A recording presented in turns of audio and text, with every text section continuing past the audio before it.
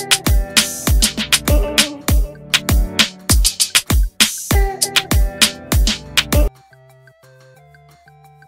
ร์ที่สุดคือภรรยาน็อตขอพูดปมโยง มีบ้านเล็กโทร เคลียร์แฟนแทนธนัชชาจบในหนึ่งนาทีชมพู่ลั่นทำแบบนี้กับเราทำไม เป็นสามีซุปตาร์แต่ผมไม่ใช่คนวงการบันเทิง แคร์ที่สุดคือภรรยาน็อต ขอพูดบ้างหลังดราม่าโดนโยง มีบ้านเล็กโทรเคลียร์แฟน แทนธนัชชาจบในหนึ่งนาทีหลังจากชมพู่อารยา ออกมาให้สัมภาษณ์ถึงประเด็นข่าวกับประเด็นดราม่าโยงสามี นอตวิสรุตมีบ้านเล็ก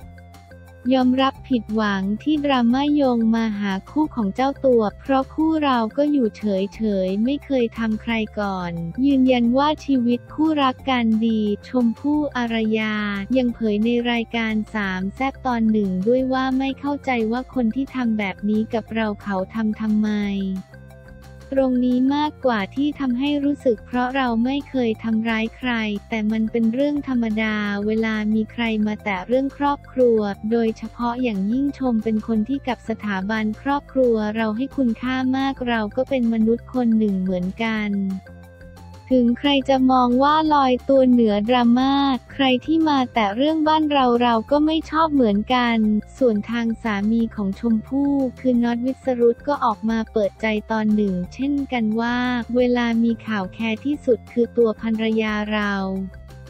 อย่างข่าวนี้ใช้เวลาเคลียร์หนึ่งนาทีจบแล้วพี่โทรไปหาตัวแฟนน้องเขาจบเลย จริง ๆ อย่างที่บอกว่าเราแคร์ที่สุดคือภรรยาเรา คนในบ้านเราครอบครัวเราตรงนี้จบเราไม่ติดอะไรแล้ว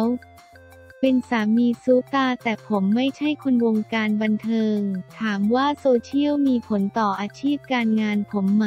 ไม่มี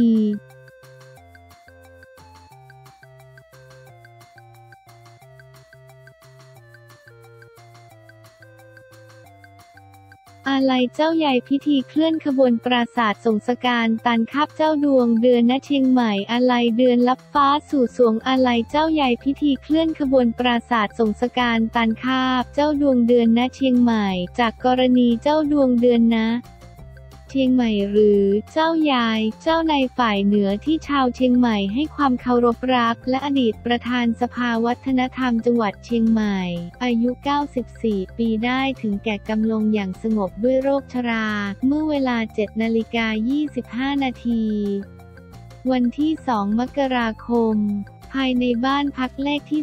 39 ถนนจ่าบ้านตำบลพระสิงห์อำเภอเมืองจังหวัดเชียงใหม่ท่ามกลางความอาลัยของลูกหลานและผู้ที่เคารพนับถือทั้งนี้ทางเพจ Facebook เจ้าดวงเดือนณเชียงใหม่ โพสต์แสดงความอาลัย พร้อมแจ้งว่าทางลูกหลานจะจัดบำเพ็ญกุศลแบบล้านนาในเดือนกุมภาพันธ์ นั้นล่าสุดวันที่ 11 กุมภาพันธ์ 66 เพจเจ้าดวงเดือนณเชียงใหม่เผยคลิปการเคลื่อนขบวนปราศาสตร์และส่งสการตานคาบเจ้าดวงเดือนณเชียงใหม่จากวัดพระสิงห์วรมหาวิหารสู่เมนวัดสวนดอกพระอารามหลวง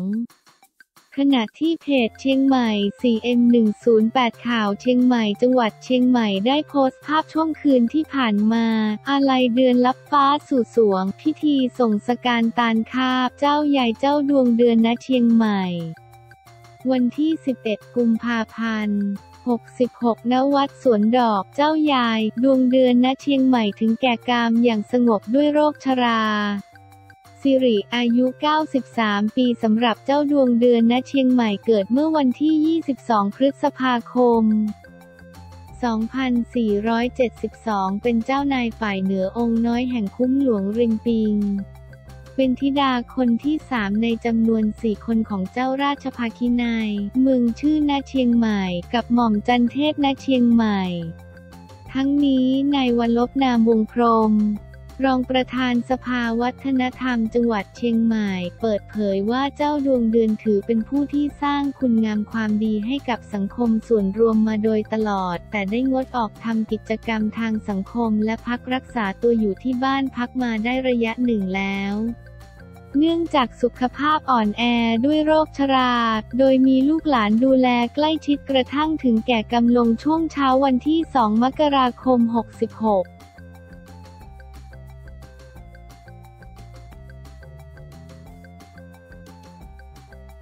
บัวขาวร้องพี่มาร์กหลังโดนเกรียนกัมพูชาจัดหนักกระหน่ำรุมมา report เพจบัวขาวโพสต์เฟซบุ๊กหลังเพจโดนรุมมา report วอนมาร์กซักเคอร์เบิร์กคนก่อตั้งช่วยด้วยคนไทยลั่นแจ้งมาทัวร์ไทยพร้อมซัด ไม่แพ้ใครในจักรวาลนี้แน่วันที่ 11 กุมภาพันธ์ 2566 เพจ Facebook บัวขาวบัญชาเมฆได้โพสต์ข้อความว่า พี่มาร์คครับช่วงนี้เพจเรามีโดน report เยอะอย่างไรช่วย save น้องบัวด้วยครับ เครื่องหมายสี่เหลี่ยม save บัวขาวเครื่องหมายสี่เหลี่ยม Mark Zuckerberg สร้างความฮือฮาในโลกออนไลน์อย่างมาก ทั้งนี้ทางเพจได้เขียนข้อความเป็นภาษาอังกฤษว่า Dear Mark Zuckerberg our FB page has been reported a lot lately Please help us เครื่องหมายสี่เหลี่ยม Save Buakaw โดยโพสต์ดังกล่าว มีคนเข้ามาแสดงความเห็นอย่างคึกคัก โดยมีคนบอกให้จัดเฟซบุ๊กของคนที่มา report เพราะถือว่าทัวร์ไทยก็ไม่แพ้ใครในจักรวาลนี้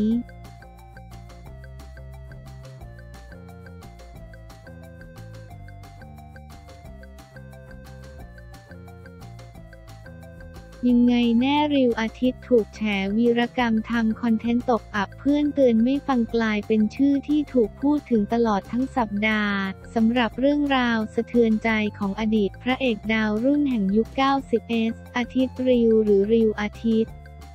ตั้งสวัสดรัตในวัย 44 ปีหลังเจ้าตัวได้ออกมาให้สัมภาษณ์แบบเปิดหมดใจถึงชีวิตความเป็นอยู่ณปัจจุบันจนกลายเป็นประเด็นช็อกสะเทือนวงการบันเทิง และทางทีมข่าวสดออนไลน์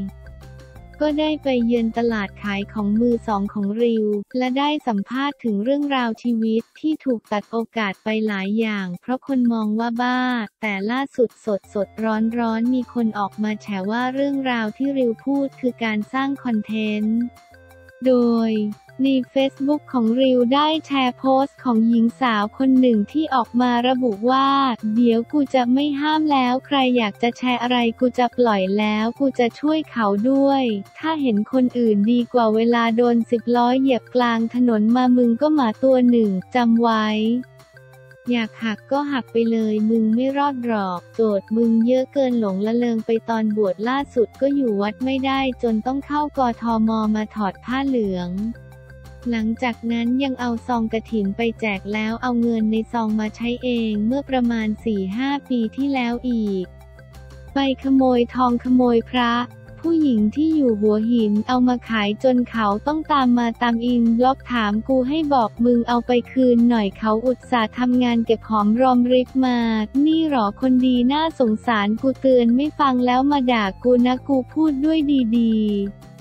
เอาเลยเอาให้สุดเรื่องพวกนี้เยอะๆ อยู่ทำคอนเทนต์ให้คนสงสารได้ระวังคนก็จะเกลียดได้โกหกทั้งเพจโดยริวได้ไปคอมเมนต์กลับใต้โพสต์ดังกล่าวด้วยว่า มึงคือเพื่อนที่เฮี้ยที่สุดและเพื่อนมึงก็ไม่มีใครคบไม่รู้ว่าประเด็นที่เกิดขึ้นจะเป็นฝ่ายไหนที่โกหกก็คงต้องมาติดตามกันต่อ